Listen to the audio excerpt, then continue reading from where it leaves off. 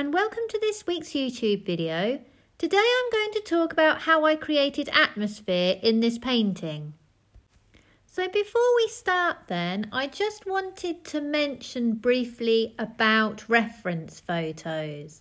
So I'm going to show you the original reference photo that I used and I wanted to say thank you to Katrina for letting me paint Tonks and use their photo in this video. So I'm very appreciative of that. Thank you. So first of all then, this is a very lovely photo but I do want to change it really to make it more appropriate for painting. So I just want to point out then that the camera has sharpened both Tonks and her shadow reflection in the water. And I just want to say that this is not how your eye would see it. So I'm going to show you how it would be in real life by putting an iris blur across this image so that you can see how it should actually be. So you need to be aware of this when you're using reference photos. So my aim then for this painting is to create something a bit ethereal and almost poetic. So I need to simplify this photo to remove any distractions around Tonks which won't add to the atmosphere of my painting. A looser painting will create something much more atmospheric. You need to focus on trying to paint the atmosphere of the photo and not get lost in the actual detail of the photo. So for me, the most important parts of this photo are the shape of Tonks, that lovely curve, and her reflection in the water. But the shadow is just too much in focus so we're going to change that. Also notice this beautiful area of light on Tonks's tail. I will need to repeat this in some way on the right hand side by adding some warmth into this blue. So let's start painting and I'll speak more about how I added atmosphere as I go along. Before I start, I apply a light wash of raw sienna and terps onto my canvas to give it that lovely orange earthy colour.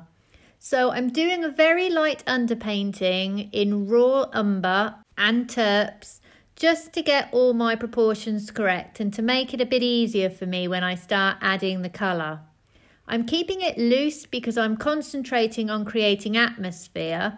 The tighter your underpainting, the tighter your overpainting will be. So keep it loose. So I'll show you a photo then of the underpainting so you can see it a little bit more clearly now that this, um, this part has been done. So now on the second layer then, I'm starting to add the colour. I just want to show you the colour wheel um, so you understand what I'm talking about. So this painting is controlled by the colour opposites.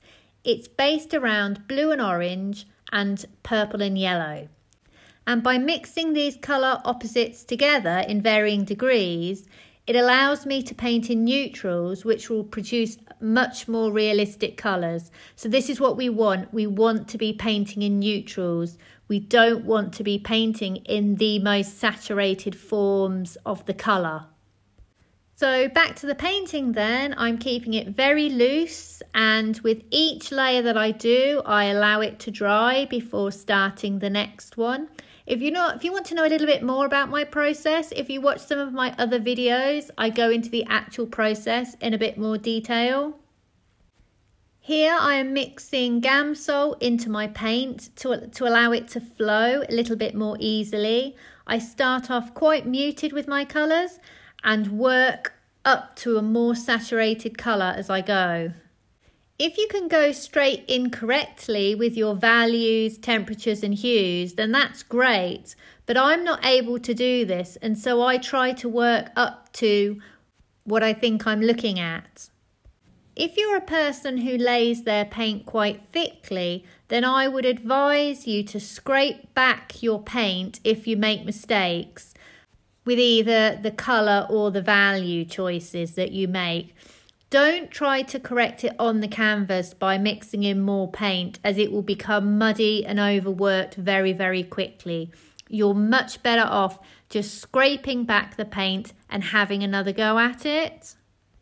As I said, really, that method doesn't work for me. I prefer to work up to it in a, a layer process. You might notice also that I am changing between two brushes. Um, I'm using flat haired brushes and also a long haired comber brush by Rosemary & Co. I find that the long haired comber brush is very good for doing the reflections because the hairs are very long and it allows you to be very expressive with the paint and also drag wet on wet paint.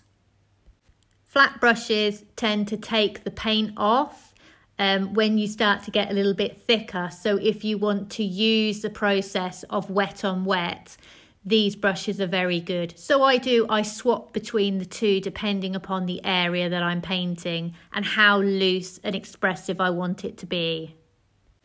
So here is a photo of the second layer then. So moving on to the third layer then, with each layer I'm using less Gamsol and a bit more paint but I am naturally quite a thin painter anyway. I prefer to build up the layers than go straight in. I just find it less stressful and I'm much less likely to overwork the piece. Because if I know I'm not correct in an area, I just move on knowing I will sort it out in the next layer, which is usually the next day. I want to arrive at the end of my painting with a picture that is as fresh as possible and having experimented with various painting methods, I'd found that this one works the best for me. I'm not using any Gamsol on this layer, but I have replaced this with linseed oil.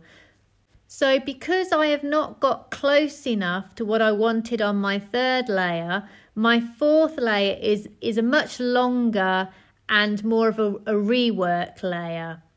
As I'm trying to create atmosphere in this painting, I need to pretty much cover the whole canvas again in paint to give me an ability to be able to push and pull it around. I need to keep those edges soft. And I can't do this if I've got dry patches of paint.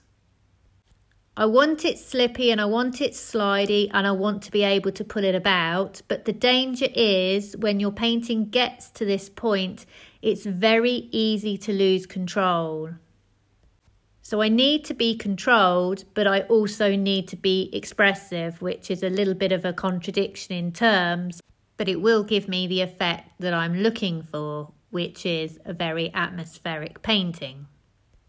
So to help create that lovely warm area on Tonks's tail, I have placed my cool purples around my warm yellows using colour opposites to help my colours stand out. For my purples, my mix of colours are Cad Red and Ultramarine Deep. My blues are a mix of either ultramarine blue and white or ultramarine blue plus cerulean blue plus white. My oranges are a mix of yellow ochre light plus cad red plus white. In my warmer blues around Tonks's head, I'm using a mix of cerulean blue um, plus white plus cadmium yellow. Colour mixing is hard, but it really is the thing if you can get the hang of it that will really elevate your paintings. It's important to make sure that your objects are integrated into their backgrounds, and I would suggest trying not to mix every area that you look at from scratch. What you really want to do is mix up enough colours at the start that you can basically just keep adjusting your mix.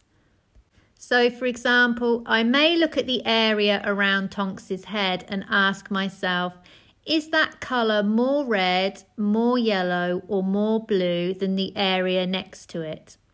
On my palette, I already have mixed up cerulean blue plus ultramarine deep plus white. So I am going to take some of that and add cadmium yellow and white.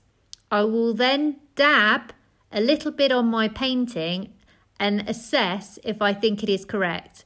If it's not, I may add some more of the orange that I have mixed up. So after I have painted that area, I then move to the next area just above it. And I start with the mix I have just adjusted for that area beside the head. I then ask myself the same question. Is it blue, yellow or red in comparison to the mix that I have just used? The area actually looks more sort of blue or purple to me, so I'm going to add more ultramarine blue plus white and a little bit of cadmium red. I work my way systematically across the whole painting like this, starting with the areas that seem the most obvious colours to me and then sort of bridging the gaps in between them. By constantly adjusting the paint on my palette and not trying to mix all the areas independently of each other, you will ensure a much more harmonious painting. And this is the finished painting. I hope you have found today's video useful. Please like and subscribe if you can, and also check out my website sarahhallidayart.com for more details of online classes that I run and also examples of my work. Thank you for watching and see you for the next one.